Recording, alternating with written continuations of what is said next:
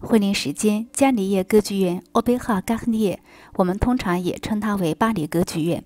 我们进到里面来参观一下哈，在歌剧院内部呢，通道上有着丰富多彩的绘画和雕塑，尤其是屋顶的绘画作品，耀眼的金色和红色照亮了整个大厅。巨大的楼梯通向不同的楼层和方向。